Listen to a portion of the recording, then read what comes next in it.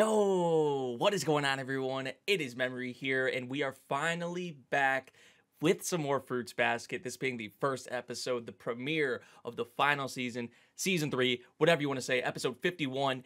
It doesn't matter what you say. All that matters is that we're back for more Fruits Basket. And, you know, this is it. I, I think it's actually been announced for one cour. So after this, like, you know, that's it with Fruits Basket. And and just if the trailer was any indication, I guess like even without watching the trailer, you would imagine, you would assume, you would think that we're in for something, right? We're in for a ride uh, with this final season. But especially with the trailer and, and what I saw in that, as always, like I don't even have to say it. Like I'm just not ready for Fruits Basket though. Y- y'all know what it is. Um, but really, what this season, we're obviously going to get a lot with Akito. I, I would imagine, right? Especially um, coming off of the end of the previous season and that reveal.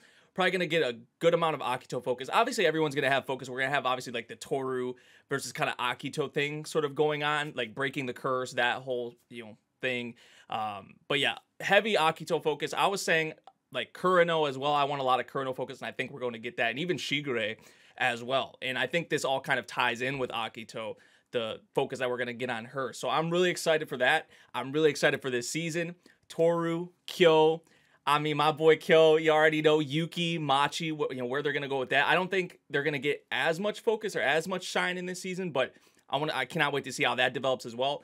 I cannot wait to see all of our characters back, and I cannot wait to see how this season goes and how everything leaves off. I know I'm kind of looking ahead towards the future, but you know we're we're in for something, and that, and that's to say the least. Um, but I'm excited, and I'm also nervous to get into this final season as always because this episode right here and this whole season is probably just gonna put us through a bunch of like ups and downs as Fruits Basket usually does. You'll be happy one moment, next moment you're you're bawling your eyes out, you're on the verge of tears or whatever the case may be. Like there's barely ever any in between, you know. Uh, so we all know what it is. But I'm excited. I'm ready to get into more Fruits Basket. So with all that said, everyone, let's hop into the premiere of this final season. Here we go. I'll hold another banquet. Okay, so we just getting put right into it. Tohru talking here. Everyone is waiting on the other side of that promise. That was in the past. Okay, I was like Tohru's talking here, but okay, this is in the past. I was wondering what it what it was. The original memory forgotten by every with who they just showed right there. This has to do with Akito. So we just start going right into it. Oh, I thought we were gonna have another scene there, but this shit just came in. Oh, I love that with the panels, dude. Oh. Ooh. Okay, this might be the best Fruits Basket OP off the rip. Oh, this is too good. This is too good. All the pairings, bro. Is that Momiji? Hold up, bro. that OP. What, oh my god, that OP just hit so hard. The, visually, but then when it came in, the especially uh, it was like Tohru's, uh, not Tohru's, uh, Kyo's bracelet, right? When it was like broken, and then the shit came in. How they, oh my god! But then the panels with like we saw Tohru on them, we saw Machi. Oh, dude! And then all the pairings, and then the characters that are kind of alone. Like you had Kagura, you had Kureno. Bro, like visual, visually, and the song. Like I said, this this might actually be the my favorite Fruits Basket opening. I know it's first listen, I know it's first watch, so t- maybe take it with a grain of salt. But first watch, there's there's some great songs in Fruits Basket, like OPZDs, all that. Don't get me wrong, like I don't think there's been one that I've disliked, but this, oh my god, bro. Yep, that was the reveal we had at the end of the previous season. I mean, it was pretty, and I always slipped up anyway, but it, it was like kind of pretty obvious to me. But I think it's even more than that. Just the reveal of the gender. Akito's been raised as a male. So although technically a female, she decreed it. Someone who almost saw you. Oh, the cameo! Are we finally gonna see her? Or why is she just like sitting in here, like reaching her arm out like this? She has some troubles mentally. Okay, so that's probably why I was questioning this. The reveal Ren Sohma. Oh my god. Oh, we gonna go, we're diving into all this shit. Is that just like, what, that's just how it is? They hate each other. Okay, instantly, what I think of with this, they hate each other, right? And she's apparently ill mentally, physically, all this. Now, I know I'm thinking bigger picture here, but I cannot help but think about this. And sorry that I paused here, but because if we're gonna have this whole Akito versus Tohru kind of thing going on, breaking the curse, all of that, Akito and her mother, look at this right here. They hate each other. You see Tohru and her mother and just how loving and how caring of a relationship that was. And then her mother passes away. Her mother is still alive, but they hate each other. Man, I'm telling you that plot point and, and just that, that's instantly what I think of. That, oh my God. Bro. She said, don't touch him. And she said, don't call him that either. We're connected in a world that you can't reach. Hasn't she said something like that, similar to Tohru, maybe? Those bonds aren't real love. This is probably why she can't comprehend or doesn't know what love is. Because of this, I, mean, I guess her relationship with her mother. Oh my god. All right, yo, this is this is what we saw in the in the trailer. How about you tell me what's real then? Oh my god. I, I, mean, is she right? Is she right? You know, saying like, how, what position are you in to talk about this or like what's real or not? Akira and me? Do we know who Akira is? What a relationship, right? To hear that from your own mother. Is that Akira? So was that her father? That's my only guess right now. Okay, so this is what we saw at the very beginning when when they all woke up, right? Because yeah, we saw Shigure, Hatori, Ayame. I'll see you soon. So now the stuff at the beginning that we saw is starting to make more sense.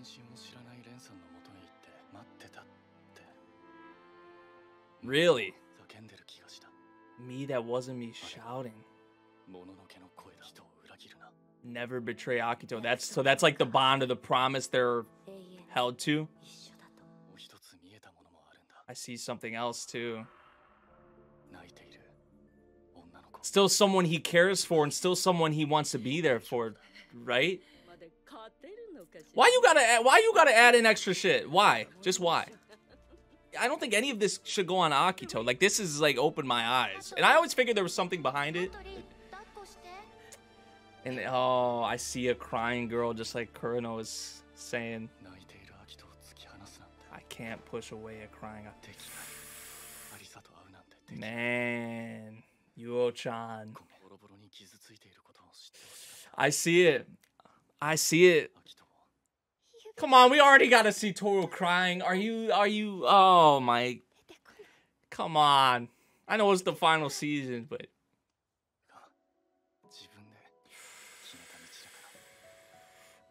Wow. Yeah, that is that's that's a lot. That's something else. Come on, dude. The season just started, man. Damn. Oh, this making me feel some type of way because now here's the thing. I know how much like from the shit that we've saw with Akito until this point, I, I, we've only really saw like one side of it, right? we haven't really saw what's behind this. I always assume that there was more behind this, or there's a reason why she is this way, and why there's why they hold on to these like you know these bonds and this like in Akito's case, like with the others, like especially with certain characters, right? Like now it makes a lot more sense. Like, but still, even before that, like she's a like like Colonel said, like she is a broken character, even though she's done these things. Like, I don't really place the blame on Akito. If anything, it's on, I guess, Ren. You would say it's just fucked up. I don't know what else to say really. Besides that, it's twisted. It's it's tragic, you know. And but now, my eyes have kind of opened to why Akito is this certain way. Man, she's still here. Saki. Saki. Ja ja ja ja and Megumi here too. Oh, man, when you need him the most, right? Your your friends. Tohru's in my custody. oh, that that phrasing though. Right, yeah, the way she put that. Good guess. Good guess, right? You you right. Hmm. Shigure. so Shigure knows or has an idea on what was you know, spread to Tohru what she learned about. No, they don't have Tohru, so someone got to do it. Oh, that's an easy answer. That's an easy answer. Right. And I care about you. I love you. Like, you're my friend. Like, this is what I'm here for. Like, this is what friends are for. Very valid reaction, emotion to be feeling. Just all this that was just given to her right here. So much to take in. I couldn't even imagine getting all this at once. Because there's so much with it, and it spreads to so many people around her that she cares about. To be fair, I, I wouldn't know much of what to say either. Yeah, 100%. Hey, they transitioned of my boy. They transitioned of my boy. Was that the was that the thing that flew away? Oh, it flew that far? I worry that one day they'll crush you as the car runs over. Bro, stop. And we don't want that. Don't even put that thought into my mind, yo. Don't even. Oh, Uo-chan. Uo-chan. Was this what she said when she said Megumi? You know what to do. Or, or maybe maybe it's something else with Megumi. I love this trio so much, dude. I love this trio. It's too good. I just love dummies. Oh my god.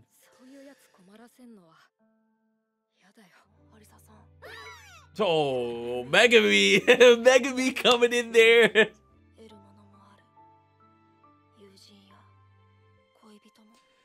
Facts? My heart pounds as I'm surrounded by older women. okay, Rin's is still lurking around everywhere. You came out your room, huh? Again. Well, I guess Akito forced you out of it that what that time. That's not good.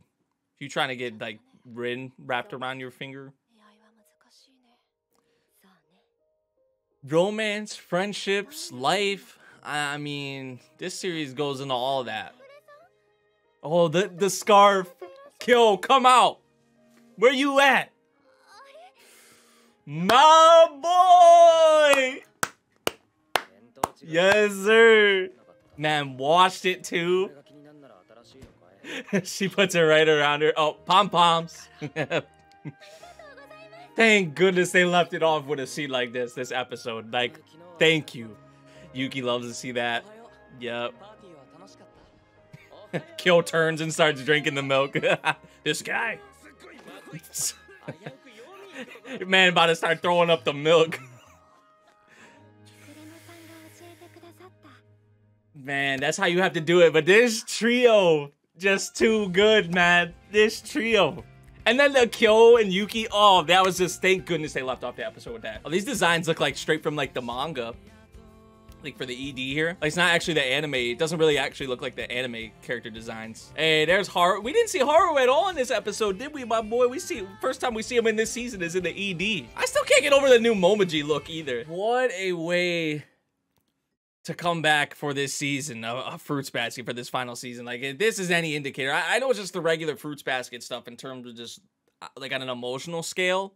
But I feel like if this is like an indicator for this season, that we're gonna have all that stuff that just is normal with fruits basket, but I feel like it's just gonna be like the scale of it, right? It's just gonna be on another level. If this episode here was any indicator, like with Kureno and what Kureno revealed to Tohru, it was a lot. It is definitely a lot. Like with Akito, of course, and that's kind of opened my eyes up to to Akito's character, and I guess gives me more uh, different understanding or a different look, or just a, I guess a different side or whatever you want to say of Akito's character, for sure. But then like with Ren, that relationship with Ren in in Akito, the the mother daughter, and just that there, there's so much there. There's so much there with it. So it's definitely understandable why Tohru was the way that she was in that moment, not being able to say anything. I would have probably been. I know everyone's different. I probably would have been similar to Tohru in that case, honestly, in how she was, not really knowing what to say, not being able to do anything. It's totally understandable though, it, at least in my eyes, right? And then, but then Saki comes in, Uo-chan, and you and you need that, right? You need those people to come in there when she was at a low point right there. Her friends come in and kind of it brings you back to earth essentially, right? It brings you back to a place where you're like, whew, right? Calm down, smile, you know, spend time with these people that you care about, that you love, and and come back to earth and then think about it like, okay, put the like she said at the end of the episode there, put these things together like a puzzle, like these pieces one thing at a time. It was a lot that she took in right there at one moment, but in the moment it was a lot to take in. You take a step back, right? You have a good ass night with your friends. You have this pajama party, whatever, the, the nightgown festival. You have that. Whew. Take a deep breath. And it's like, okay, one thing at a time, one piece at a time. I love that. And then Kyo and Yuki at the end, uh, I guess you could throw Shigure in there as well. Like the whole cooking thing, he was bashing Yuki about that and saying how much he appreciates Tohru. But Kyo, really, like the, the scarf and that shit what a way to come back, dude. What a way to come back. Gave us a mix of everything as Fruits Basket usually does, but thank goodness they at least left us off on that note for this episode because that was beautiful with the trio. That was my favorite part of this episode. Like the reveal, like with Akito and stuff, the stuff with Kureno and what he was talking about. That's that's one of my favorite things with this episode. But the stuff with the trio, Uo-chan, Saki, even Megumi, even I, I really like what we had with Megumi in this episode too. I would say in there, but the trio, man, it's just oh too good too good. Fantastic way to come back to a really good episode. That OP, I cannot stop thinking about that OP. The ED is good as well, but that OP, man, that's gonna be on loop. That's gonna be on repeat. Like the visuals for it hit too. I mean, my goodness, they such a good way to come back. Such a good episode. I'm happy it's back. The final season though, man, what are we like? We're in for something. We are in for something. Like it's gonna be the regular fruits basket stuff, but like I said before, it's gonna be on another level as as we go through this final season because everything's kind of coming out and everything with all of our characters, and it's like, damn, damn. So yeah, that about does it for this episode of Fruits Basket. It's back. Let me know what y'all thought of this episode. If you guys did enjoy my reaction, make sure you drop a like, subscribe if you're new, and I'll see you all in the next one. Thank you for watching. Peace out.